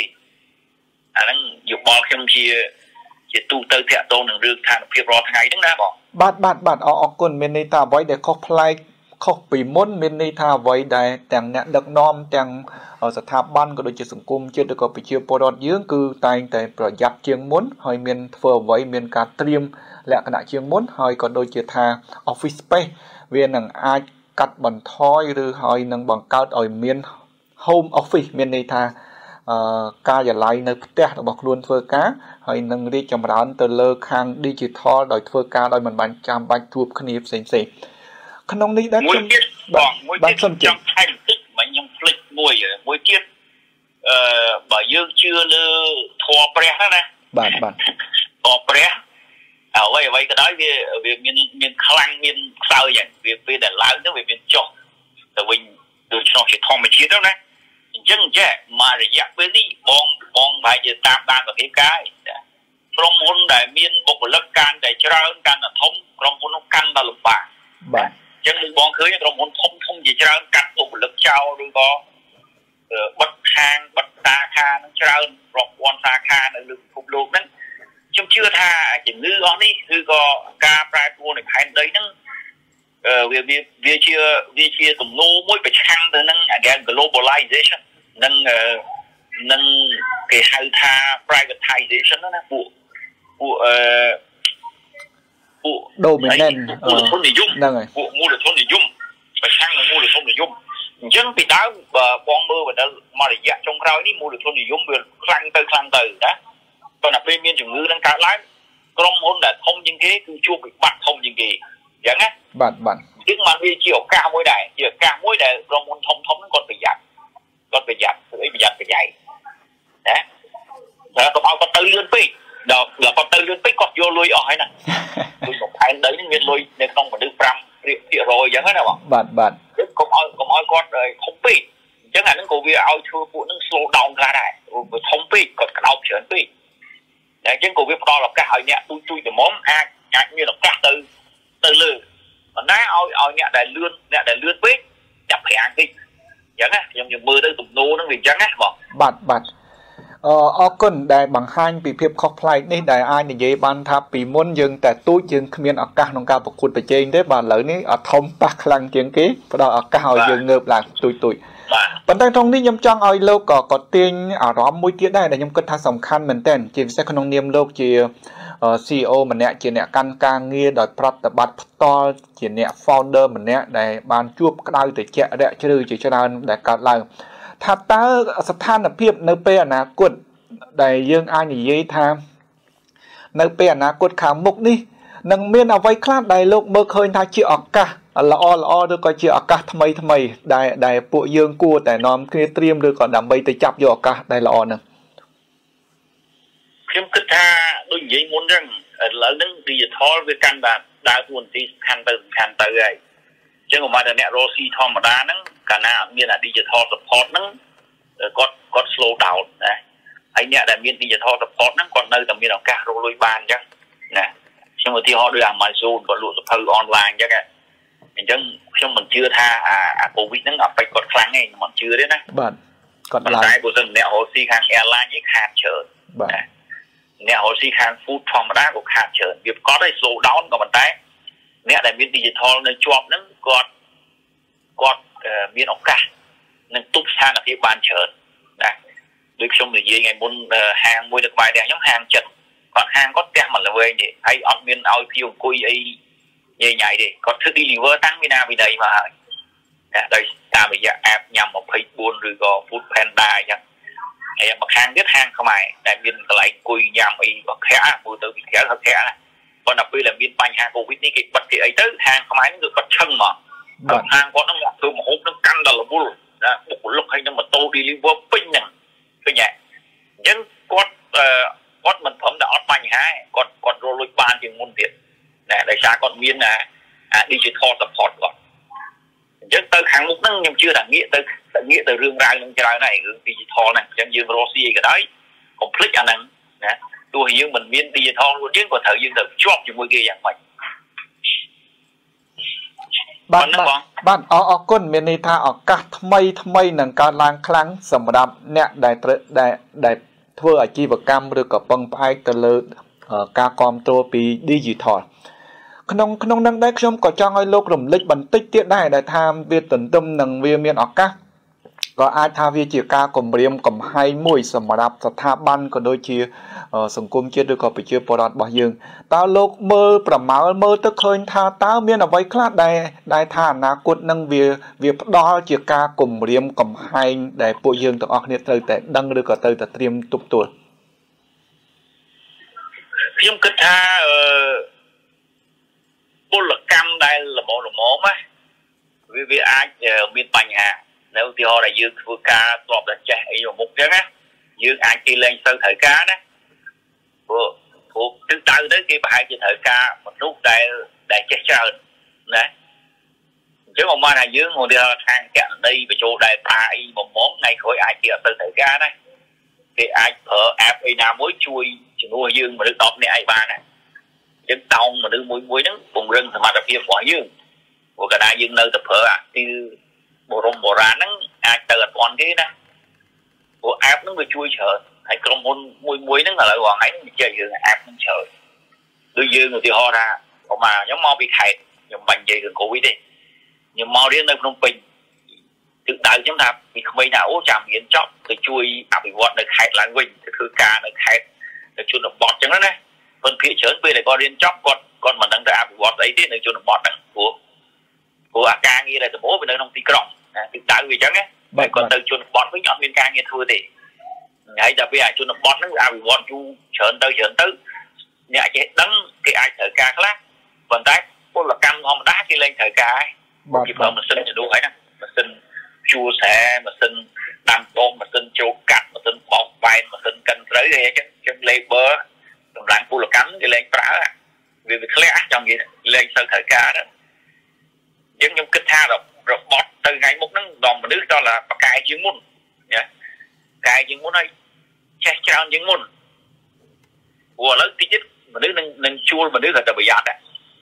ដោយសារឥឡូវអ្នកមានវិបត្តិច្រើនហ្នឹងគឺអ្នកដែលមានបុគ្គលិកច្រើនអញ្ចឹងក្រុមហ៊ុនមួយមួយនឹងងាកទៅរកថាថាត្រូវជួលបុគ្គលិកទីហើយធ្វើការឲ្យបានផលរបៀបម៉េច អាហ្នឹងជា question មួយដែល CEO មួយមួយគិតគេមិនចង់បានមនុស្សច្រើនដែលដែល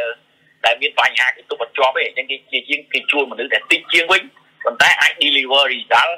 ហាក់ប្រហែលដែលយើងជួលមនុស្សច្រើនដែរបាទបាទបាទអរអរគុណច្រើនមានន័យថាជាឱកាសនៃការគម្រាមកំហែងចំពោះ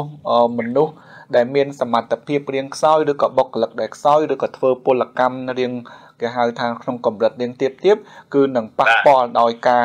ដែលបាត់ឱកាសដោយជំនួសដោយម៉ាស៊ីននិងជំនួសដោយ app ផ្សេងផ្សេង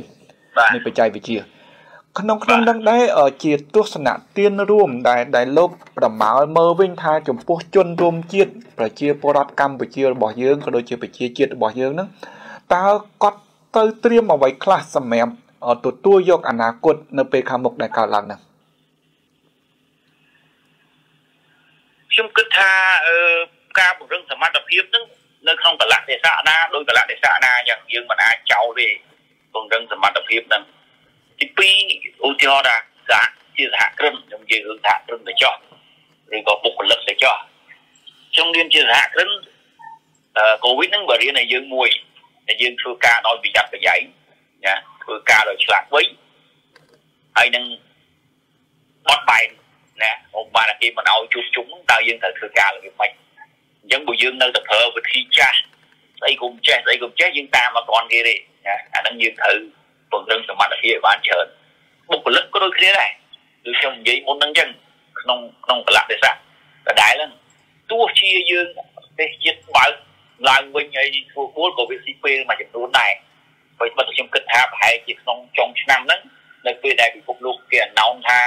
គេប្រកាសថាវ៉ាក់សាំងហ្នឹងមនុស្សនៅលើផែនដីចាក់អស់ហើយណាហើយអញ្ចឹងគេឲ្យយើងហោះហើរទៅរីវាតល់តែយើងងាកទៅរកលែងធ្វើចតាលិស័កចិត្តចតាអីបានមនុស្សទាំងអស់ហ្នឹងធ្វើដំណើរសំបាយដូចមុនហើយទោះជាធ្វើដំណើរដែរមនុស្សនៅតែប្រយ័ត្នប្រយែងហ្នឹងមិនមែនដូចមុនទេមុនយើងដើរជាសេរីយើងអត់ពាក់ម៉ាស់យើងមិនទៅលាងដៃសម្អាតអីចឹងទោះជាពិភពលោកងាកទៅរកប្រកបដីភាពហ្នឹងមនុស្សក៏នៅតែប្រយ័ត្នប្រយែងយើងមុនដែរ មនុស្សអត់មានប្រហែលដូចមុនទេអញ្ចឹងក្នុងការរស់ស៊ីក៏យើងប្រយ័ត្នប្រយែងក្នុងការដើរហើរជីវិតរស់នៅក៏យើងប្រយ័ត្នប្រយែងខ្ញុំគិតថាមនុស្សយើងនឹងនឹងគិតនឹងគិតប្រយ័ត្នជាងមុនប្រយ័ត្នប្រយែងជាងមុនអ្វីដែលខ្ញុំគិតទេបងបាទបាទបាទអរគុណច្រើនមានន័យថាទោះបីជាពិភពលោក មានការប្រែប្រួលវិវត្តយ៉ាងណាគឺត្រូវតែពង្រឹងសមត្ថភាពហើយនឹងធ្វើអ្វីដោយមានការប្រយ័ត្នប្រយែងជាងមុនឆ្លាតវៃជាងមុននិងបត់បែនជាងមុនបាទអរអរគុណខ្ញុំគិតថាឈានចូលដល់សំណួរដែលជាសំណួរកលឹះសំខាន់ចុងក្រោយមួយទៀតដែលដែលតកតងនឹងសំណួរទី9ក្នុងក្នុងនាមលោកជា CEO ម្នាក់ដែលបានធ្វើកិច្ចការងារដ៏យូរទៅលើការបង្កើតស្ថាប័នឬក៏ ក្រុមហ៊ុនក៏ដូចជារហូតទៅដល់ការបង្កើតភូមិផ្កាតកួនឬក៏បរិយមង្គលវិឡាសផ្សេងផ្សេងខ្ញុំចង់ដឹងថាតើក្នុងនាមលោកជា CEO ម្នាក់តើលោកយល់ថាអ្វីជាក្តីសុបិនរបស់កម្ពុជាពិតប្រាកដមានន័យថាអ្វីដែលជា Cambodian Dream ពិតប្រាកដសូមអញ្ជើញលោកខ្ញុំមែនទែនរឿងចំនួនហ្នឹងប្រហែលជាតើសួរទៅដាច់នាយកបង ចំនួនក្នុងក្នុងនាមបងជា CEO ម្នាក់ក៏បងអាចយល់ថាអ្វីដែលជាក្តីសុបិនរបស់កម្ពុជាទីជម្រៅតិចខ្ញុំខ្ញុំមានក្តីសុបិនរបស់ខ្ញុំតែក្តីសុបិនរបស់កម្ពុជាវាស៊ីជម្រៅតិចអញ្ចឹងខ្ញុំខ្ញុំនិយាយជាទូទៅវិញទៅខ្ញុំនិយាយជាទូទៅខ្ញុំគ្រាន់តែចង់ឲ្យកូនខ្មែរទាំងអស់ត្រូវគិតថាប្រជាជនខ្មែរគឺជាប្រជាជនដែលបញ្ញាប៉ុណ្្នឹងឯណាហើយមានចិត្តធំណា មានសុបិនធំមានមហិច្ឆតាបើមិនអញ្ចឹងទេលោកតាយើងធ្វើប្រសាទអង្គរវត្តអត់បានទេអញ្ចឹងអមមាស្ដាច់យើងគ្រប់ចំនួនមកស្ដាច់ដែលមានមហិច្ឆតាធំធំគាត់ធ្វើកិច្ចការធំធំអញ្ចឹងទៅអញ្ចឹងខ្ញុំក្នុងនាមជាប្រជាពលរដ្ឋម្នាក់ខ្ញុំមានមហិច្ឆតារបស់ខ្ញុំប៉ុន្តែវាមានកម្រិតខ្ញុំមិនអាចជាអធិពលទៅលើប្រទេសជាតិទាំងមូលទេប៉ុន្តែសួរថាទិសដៅទៅយ៉ាងម៉េច ខ្ញុំខ្ញុំខ្ញុំគិតថាអ្នកដឹកនាំនៃប្រទេសមួយមួយហ្នឹងគាត់គិតនៅក្នុងស្រុកយើងគាត់គិតដែរគាត់គាត់មានផែនការគួរទៅណាទៅណីប៉ុន្តែសម្រាប់ខ្ញុំខ្ញុំគិតថាឱកាសសម្រាប់កម្ពុជាវាច្រើនណាឱកាសកម្ពុជាសម្រាប់សម្រាប់កម្ពុជាច្រើនព្រោះតំបន់ជុំវិញយើងគេអភិវឌ្ឍទៅមុនយើងហើយណាអញ្ចឹងយើងនៅមានឱកាសច្រើនហើយនយោបាយរបស់ស្រុកយើងទលំទលាយណាយើងមិនដាក់កំហិតឲ្យគេមកនឹង ត្រូវតែមានហ៊ុនស្រុកខ្មែរថាតែមួយអត់ទេយើងឲ្យគាត់មកគាត់បើកក្រុមហ៊ុន100%អញ្ចឹងខ្ញុំគិតថាឱកាសវិនិយោគស្រុកខ្មែរនៅតែនៅតែតាក់ទាញនៅតែពេញនិយមសម្រាប់ជនបរទេសណាដែលនឹងជួយឲ្យទាំងវិស័យទេសចរទាំងវិស័យអចលនៈទ្រព្យនឹងមានឱកាសរីកចម្រើនច្រើនឧស្សាហកម្មចឹងដែរណាព្រោះយើងនៅតែមានអីណាហើយលក្ខខណ្ឌពិសេសដែលអាចនាំចេញពីក្រៅជាប់ពន្ធតិចឬក៏អត់ពន្ធដល់អត់ អញ្ចឹងឱកាសក្នុងការអភិវឌ្ឍសេដ្ឋកិច្ចទៅលើវិស័យទេសចរក៏ដោយវិស័យឧស្សាហកម្មក៏ដោយវិស័យធ្វើអាជីវកម្មផ្សេងៗក៏ដោយវាវាធំធេងអញ្ចឹងខ្ញុំជឿថាយើងមានឱកាសច្រើនក៏ប៉ុន្តែនៅនៅស្រុកយើងមានបញ្ហាមួយគឺធនធានមនុស្សកម្រិតកម្រិតខ្ពស់ហើយនិងកម្រិតទាបហើយកម្រិតមធ្យមនៅមានកម្រិតប៉ុន្តែយើងសម្បូរធនធាននៅកម្រិតក្រោមកម្រិតក្រោមធនធានយើងច្រើនណា អញ្ចឹងបានយើងរងថ្ងៃជាមួយថៃវារៀងរៀងគេថាថាបំពេញឲ្យវាទៅវិញទៅមក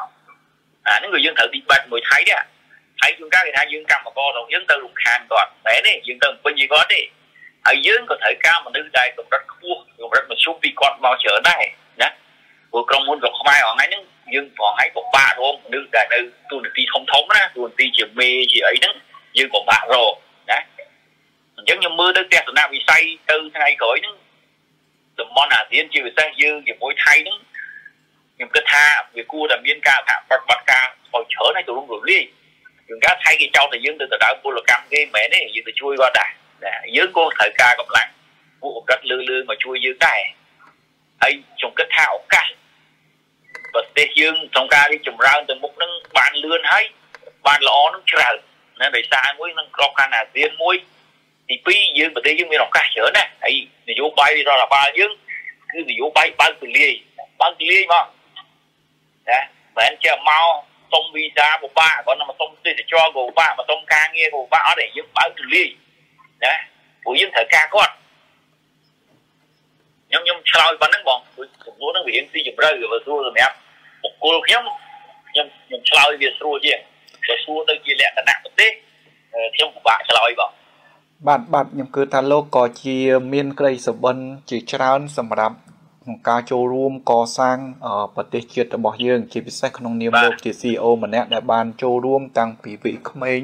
រហូតមកដល់ថាវីពាក់កណ្ដាលហើយខ្ញុំជឿថាយើងនៅមានអាយុប្រហែលជា50ឆ្នាំទៀតដែលយើងទៅធ្វើអ្វីមួយសម្រាប់ប្រទេសជាតិរបស់យើងខ្ញុំធ្វើខ្ញុំធ្វើនៅក្នុងលក្ខខណ្ឌខ្ញុំតែឧទាហរណ៍ខ្ញុំបង្កើតភូមិការទទួលហ្នឹង ណារឿងរឿងខ្ញុំធ្វើហ្នឹងគឺរឿងខ្ញុំចង់បង្ហាញជាស្នាដៃឲ្យយុវជនជំនាន់ក្រោយមើលតាមយើងណាហើយខ្ញុំចង់បង្ហាញជាគេមរតកមួយណាព្រោះមកយើងនៅក្នុងភូមិពេញពិបាកអសួនទលំទលាយដើរលេងសួនសាសួនអីចឹងគុំការទទួលហ្នឹងហើយជាកន្លែងមួយដែលប្រជាពលរដ្ឋយើងនៅក្នុងពេញយើងគឺនៅតំបន់ជុំវិញហ្នឹងអាចទៅលេងកម្សាន្តចុងសប្តាហ៍ណាឬក៏អាចจะមាន ទិញដីធ្វើផ្ទះមួយកន្លែងហ្នឹងឲ្យស្អាតសម្រាប់ជីវភាពសម្រាប់យើងនឹងវ័យកណ្ដាលហ្នឹងមជ្ឈមវ័យហ្នឹងធ្វើម៉េចឲ្យឲ្យឲ្យមានសុខភាពល្អឲ្យមានអារម្មណ៍ល្អអញ្ចឹងអញ្ចឹងបើស្រាប់សម្រាប់តាសម្រាប់តែខ្ញុំទេខ្ញុំចង់ធ្វើកិច្ចការជាច្រើនទៅតាមលទ្ធភាពខ្ញុំហ្នឹងដើម្បីយើងនិយាយពាក្យអីទៅពេលថ្ងៃណាមួយយើងលាពីផែនដីទៅវិញទៅយើងបានបន្សល់នៅស្នាដៃមួយចំនួនដែលជារបស់មួយធ្វើឲ្យប្រជាពលរដ្ឋខ្មែរយើងមានមោទនភាពណាគាត់សប្បាយគាត់អាច យកអានទៅអួតជនបរទេសណាវាមានវាមានលក្ខណៈអញ្ចឹងព្រោះខ្ញុំមិនចង់ចំចាយជីវិតមួយជីវិតហ្នឹងទៅដោយអត់ប្រយោជន៍អីទេព្រោះខ្ញុំមិនមែនជាមនុស្សដែលចង់បានបាយបីពេលក្នុងមួយថ្ងៃទេខ្ញុំចង់ធ្វើស្អីស្អីឲ្យវាមានផលប្រយោជន៍ជាគុណប្រយោជន៍សម្រាប់ប្រជាពលរដ្ឋយើងហើយនិងសម្រាប់ជាមុខមាត់ប្រទេសជាតិយើងអាហ្នឹងសម្រាប់ខ្លួនខ្ញុំផ្ទាល់ណាបងបាទបាទអញ្ចឹងបើខ្ញុំសរុបមកវិញមានន័យថា អ្វីដែលជាក្តីសុបិនសម្រាប់កម្ពុជាតាមការយល់ឃើញរបស់លោកគឺលោកចង់ឃើញខ្មែរប្រជាជាតិខ្មែររបស់យើង ជាប្រជាជាតិមានបញ្ញា មានចិត្តធំមានមហិច្ឆតា មានស្នាដៃដ៏អស្ចារ្យដូចបពៈបរោះឬកូនខ្មែរអីបពៈបរោះរបស់យើងដែលបានសាងសង់ដូចជាអង្គរវត្តជាដើមត្រឹមត្រូវបងបាទអញ្ចឹងខ្ញុំគិតថាលោកបានបង្ហាញជាច្រើនដែរហើយដែលថាលោក បានកំពុងតែធ្វើអ្វីមួយដើម្បីស្របទៅនឹងអ្វីដែលជាស្ដីសុបិនសម្រាប់កម្ពុជាអញ្ចឹងខ្ញុំចង់ឲ្យសូមឲ្យលោកបន្ថែមបន្តិចទៀតថាអ្វីត្បិតតែលោកចង់ឃើញប្រជាជាតិខ្មែររបស់យើង ជាប្រជាជាតិដែលមានបញ្ញាមានចិត្តធំមានមហិច្ឆតា មានស្នាដៃដ៏អស្ចារ្យដោយសារតែលោកបានឃើញថាកម្ពុជារបស់យើងនៅមានឱកាសរីកចម្រើនខ្លាំងមែនទែនដែលនៅមានការសក្តានុពលនៃការរីកចម្រើននឹងខ្លាំងចុះក្នុងនាមលោកជា CEO ម្នាក់ ថាថាលោកនឹងចូលរួមធ្វើអ្វីខ្លះដើម្បីឲ្យក្តីសុបិននោះ វាអាចคล้ายទៅជាការពិតសុំសុំអញ្ជើញរៀងជាក់លាក់បន្ថែមបន្តិចសុំអញ្ជើញលោកអឺខ្ញុំមែនតើខ្ញុំព្យាយាមបង្រៀនយុវជនយើងអញ្ចឹងបានតាមរយៈសិក្ខាសាលាជាថាបងជឿខ្ញុំទៅឬក៏អ្នកផ្សេងដែលគាត់រៀបចំដើម្បីជា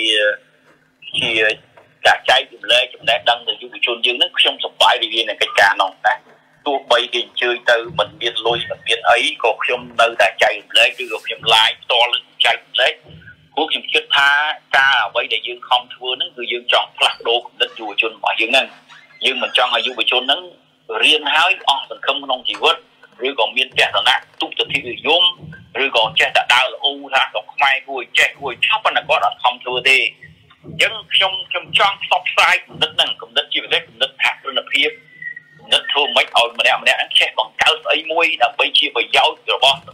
យើង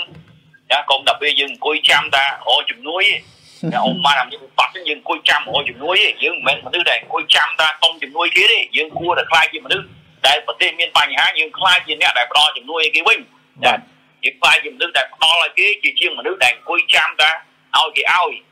អញ្ចឹងនៅក្នុងទស្សនៈរបស់ខ្ញុំគឺអញ្ចឹងអញ្ចឹងមួយថ្ងៃមួយថ្ងៃគឺខ្ញុំខំធ្វើការខ្ញុំមិនដែលគេងថ្ងៃខ្ញុំមិនដែលមានថ្ងៃសៅរ៍អាទិត្យថ្ងៃណាក៏ខ្ញុំធ្វើការដែរទោះជាគៀកបិទ ទីក្រុងភ្នំពេញខ្ញុំក៏នៅតែធ្វើការដែរតាមរយៈអនឡាញតាមរយៈការចែកលេខចំណេះដឹងទៅព្រោះខ្ញុំជឿថាបើសិនជាប្រជាជនយើងពូកែណាបើសិនជាប្រជាជនយើងមានផ្នត់គំនិតជាអ្នកមាន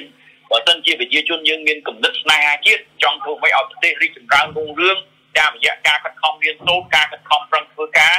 ការខិតខំបង្កើតអ្វីមួយសម្រាប់ប្រជាពលរដ្ឋយើងសម្រាប់ជាស្នាដៃសម្រាប់ឲ្យកូនខ្មែរដែលមានមោទនភាពជាមួយនឹងអ្វីដែលយើងបានបង្កើតនោះ ខ្ញុំគិតថាមនុស្សហើយដែលយើងស្ដាច់ស្នងប្រទេសយើងឲ្យសមនឹងយើងថាអូប្រទេសមួយដែលមានប្រកាសអង្គរវត្តដែលអស្ចារ្យលើលោកអញ្ចឹងវាទៅមានប្រជាជនយើងប្រកែប្រកែប្រជាជនយើងចេះស្រឡាញ់ប្រទេសជាតិតែអមតែយើងថាអូយើងស្រឡាញ់ព្រៃឈើប៉ុន្តែគាត់គាត់ទៅដើមឈើមកដើមមុខផ្ទះគ្មានហ្មងហ្នឹងណាអាហ្នឹងគាត់និយាយតែមាត់ទេយើងយើងចង់ធ្វើម៉េចចង់ផ្លាស់ប្ដូរគំនិតប្រជាពលរដ្ឋយើងឲ្យស្រឡាញ់សង្គមជាតិណាឲ្យស្រឡាញ់ធ្វើម៉េច បន្តស្នាដៃអ្វីមួយសម្រាប់ប្រជាពលរដ្ឋខ្មែរទៅថ្ងៃមុខហ្នឹងមិនមែនគ្រាន់ស្កៅមកសម្រាប់តែខ្លួនឯងឬក៏សម្រាប់តែក្រុមគ្រួសារខ្លួនឯងទេក្រៅពីសម្រាប់ខ្លួនឯងក្រៅពីសម្រាប់ក្រុមគ្រួសារខ្លួនឯងតើយើងអាចធ្វើអ្វីសំខាន់សំខាន់សម្រាប់អឺបន្សល់ទុកជាស្នាដៃដល់ប្រជាពលរដ្ឋយើងនោះអញ្ចឹងតើយើងធ្វើការដោយមិនហាច់ខ្លាចនឿយហត់នឿយហត់ដល់យើងខំខិតខំបន្តការរៀនសូត្រដល់យើងខិតខំបន្តក្នុងការចែករំលែកនៅចំណេះដឹងនិងបទពិសោធន៍ដែលយើងមាន ទៅឲ្យយុវជនចំនួនក្រោយនោះឲ្យរស់នៅប្រកបដោយមានសង្ឃឹមហើយឲ្យមានមហិច្ឆតាហើយនឹងឲ្យមានភាពក្លាហានក្នុងការធ្វើអ្វីមួយដោយមិនមានដោយមិនមានលេសឬក៏មានគេថាឡាផ្ដេកសំផ្ដួលលមូលសំត្រិចដោយនិយាយថាអត់លុយដោយនិយាយថាគាត់ជាកូនអ្នកក្រគាត់មិនអាចធ្វើកាត់អញ្ចឹងយើងចង់បង្កើនភាពក្លាហានរបស់គាត់ហើយឲ្យគាត់ហ៊ានក្នុងការធ្វើអ្វីមួយដើម្បីជាគុណប្រយោជន៍សម្រាប់សង្គមជាតិ បាទបាទបាទអរគុណច្រើនចំពោះការចូលរួមដែលបង្ហាញភាពជាក់លាក់មានន័យថាអំបញ្ញមិញនេះលោកក៏បានបង្ហាញដែរលោកបានខិតខំកសាងដូចជាភូមិផ្កាតគួនដើម្បីផ្ដល់នៅកន្លែងមួយដែលមានជាទីមនោរម្យសម្រាប់ប្រជាជាតិរបស់យើងក៏ដូចជាគំរូឬក៏ជា model មួយដែលពួកគាត់អាចរៀនសូត្រធ្វើការអភិវឌ្ឍកន្លែងរស់នៅមួយដែលល្អបន្ទាប់មកលោកមានន័យថាខិតខំចូលរួម ជួយបង្រៀនយុវជនរបស់យើងដើម្បីឲ្យផ្លាស់ប្ដូរផ្នត់គំនិតទៅវិជ្ជមានជាពិសេសផ្នត់គំនិតសហគ្រិនដើម្បីឈានទៅជាអ្នកបង្កើតឬក៏ជាអ្នកផ្ដល់ជាជាងជាអ្នកចាំទទួលហើយលោកខ្លួនឯងក៏បានខិតខំធ្វើការខិតខំរៀនសូត្រដើម្បីបន្សល់នៅស្នាដៃសម្រាប់កូនខ្មែររបស់យើងខ្ញុំគិតថានេះគឺជា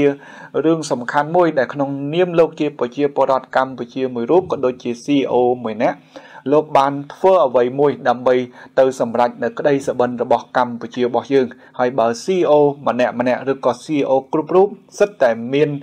សកម្មភាពចូលរួមដោយលោកខ្ញុំជឿថាប្រទេសជាតិរបស់យើងនឹងមានការប្រែប្រួលវិវត្តទៅរកភាពជាប្រជាជាតិដែលអស្ចារ្យជាមិនខានហើយនៅក្នុងចំណុចដែលចុងក្រោយនេះក្នុងនាមលោកជា CEO ដែលខ្ញុំគិតថា ពីសំណួរទី1ដល់ទី9គឺសិតតែចេញពីអ្វីដែលខ្ញុំសួរប៉ុន្តែ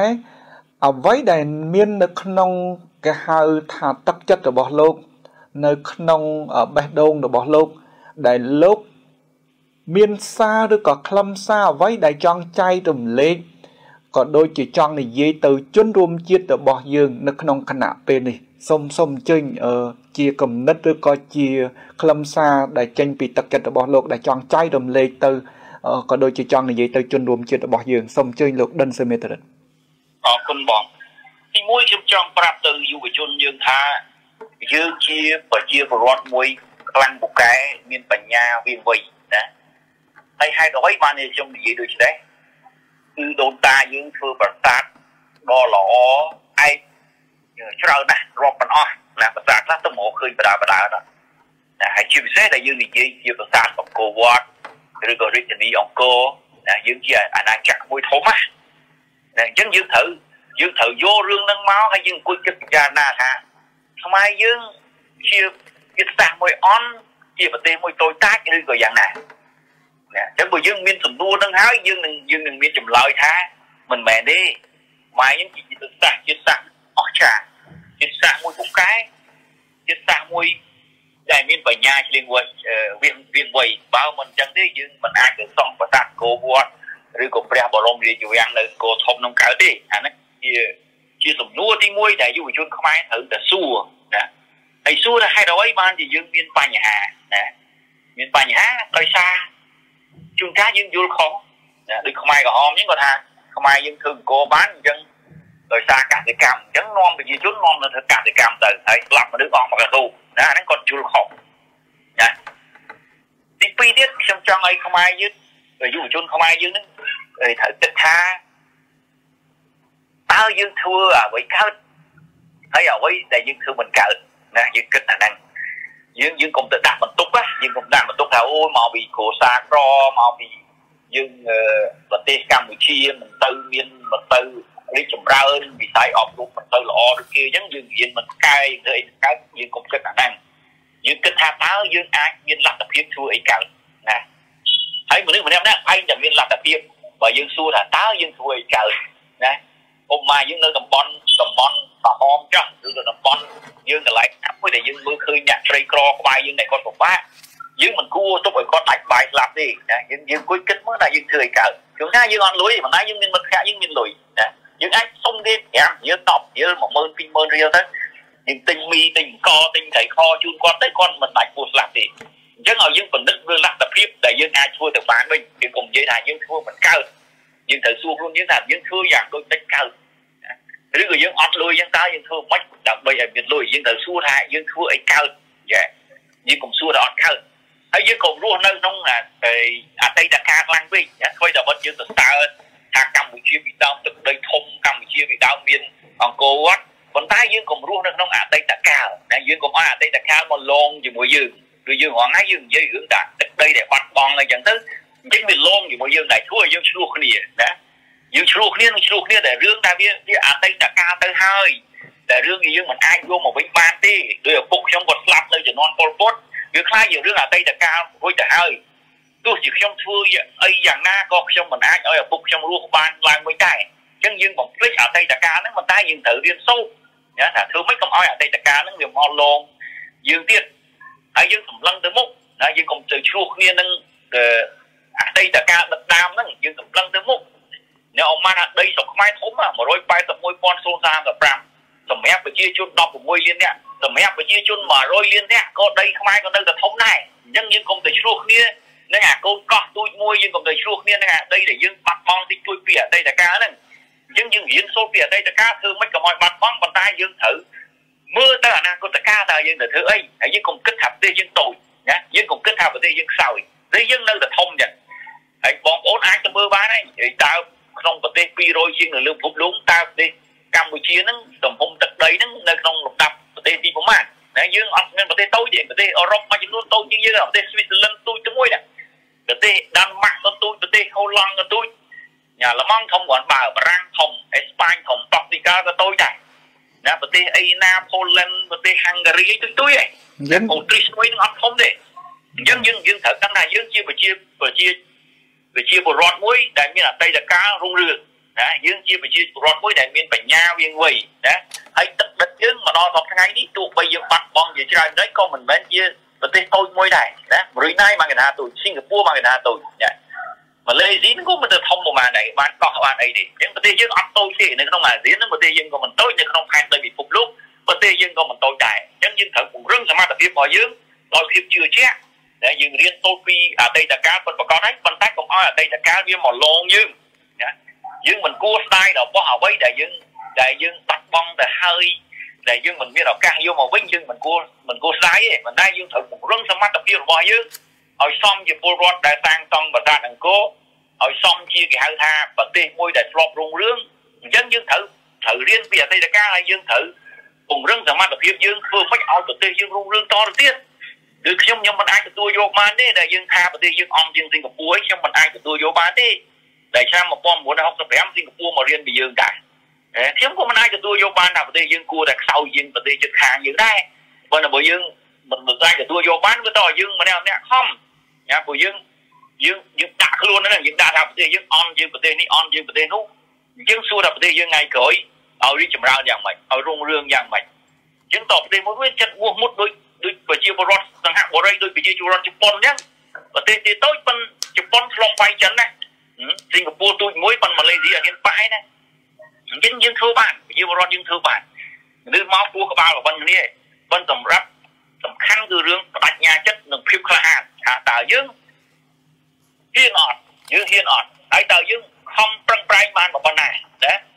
មិនដល់ពេលយើងឃើញប្រទេសយើងលំបាកហើយយើងខ្ជិលទេអញ្ចឹងបើយើងឃើញប្រទេសយើងលំបាកតោះតែយើងខំប្រឹងប្រែងមែនតើមកគេខំប្រឹងប្រែង100យើងខំធ្វើឲ្យបាន2 300អាហ្នឹងបានយើង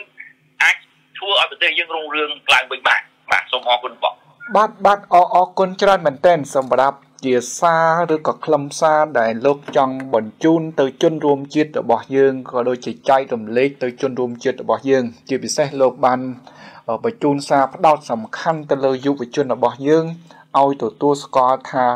ពួកយើងជាជនជាតិដែលមានបញ្ញាជនជាតិដែលខ្លាំងពូកែជនជាតិដែលអស្ចារ្យជាពិសេសយើងធ្លាប់មានអតីតកាលរុងរឿងដែលកសាងអង្គរវត្តហើយ អ្វីដែលកើតឡើងកន្លងមកដែលមានបញ្ហាគឺដោយសារតែការយល់ខុសតែប៉ុណ្ណោះអញ្ចឹងទេយើងទាំងអស់គ្នាគឺ កុំព្យាយាមរស់ទៅនឹងរំលឹកខ្លាំងទៅលើរឿងអតីតកាលហើយសម្លឹងមើលទៅមុខថាប្រទេសជាតិរបស់យើងខ្លាំងប្រទេសជាតិរបស់យើងធំ ហើយប្រទេសជាតិរបស់យើង គឺត្រូវការយើងពង្រឹងសមត្ថភាពក៏ដូចជាតកតងទៅនឹងការបដិញ្ញាចិត្តនិងភាពក្លាហានដើម្បីកសាងភាពអស្ចារ្យខ្ញុំគិតថានេះជាសារមួយដ៏សំខាន់ដែលលោកបានចូលរួមនៅក្នុងការចែករំលែកហើយ ឈានដល់ចុងបញ្ចប់នេះខ្ញុំមានតែការអរគុណច្រើនមែនទែនចំពោះវត្តមានរបស់លោកដុនសមេត្រិតដែលជាស្ថាបនិកភូមិផ្កាតគួនក៏ដូចជា CEO ក្រុមហ៊ុន Franchi Penley Villa ដែលបានចូលរួមនៅក្នុងដំណើរការកសាងសង្គមភាពជាអ្នកដឹកនាំនៅចំនួនពួកយើងជាពិសេសតាមរយៈ CEO នៅពេលនេះអរគុណច្រើនមែនទែនចំពោះលោកដិនសេមេត្រិតដែលបានចំណាយពេលដ៏មានតម្លៃនិងបានចែករំលែក នៅអ្វីដែលជាមេរៀនបទពិសោធន៍ដ៏អស្ចារ្យមួយសម្រាប់កម្ពុជារបស់យើងសូមអរគុណច្រើនអរគុណបងសូមគោរពលាបងបាទបងសុខសប្បាយបាទ